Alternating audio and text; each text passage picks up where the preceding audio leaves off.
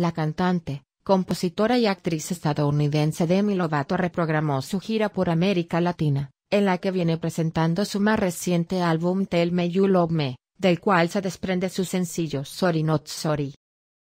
Estoy con el corazón roto por tener que hacer este anuncio hoy. Debido a cuestiones de producción tenemos que mover las fechas del South America almohadilla Me You Love Me Tour, lamentó la artista a través de un comunicado difundido por la productora del espectáculo en Argentina. Lobato tenía programado presentarse el próximo 24 de abril en la Argentina, en Tortuguitas, pero por este inconveniente el artista retrasó su show para el 17 de noviembre en el Direct Arena, considerado uno de los mejores estadios cubiertos de Latinoamérica y ubicado en las afueras de la capital argentina. De este modo, la cantante tuvo que reprogramar las fechas previstas en América Latina, cuya gira ahora comenzará en México, donde actuará el 20 y 22 de septiembre, primero en el México Arena de la capital azteca y luego en el Arena de Monterrey.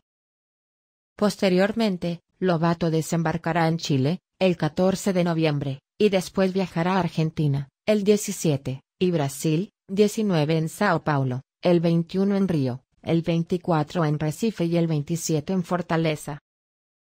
La cantante estadounidense lanzó en julio de 2017 su primer sencillo Sorry Not Sorry, que al instante entró al top 5 en los iTunes Chart y ahora está certificado como doble platino. El éxito ha acumulado más de 500 millones de transmisiones, subiendo al número uno en las listas. Este tema forma parte del sexto álbum de estudio de Lovato, Tell Me You Love Me, el cual debutó en el número 1 en iTunes en 37 países en septiembre de 2017. Además del lanzamiento del álbum, aclamado por la crítica, Demi lanzó un documental de 78 minutos, Simply Complicated, que ha acumulado más de 13 millones de visitas hasta la fecha.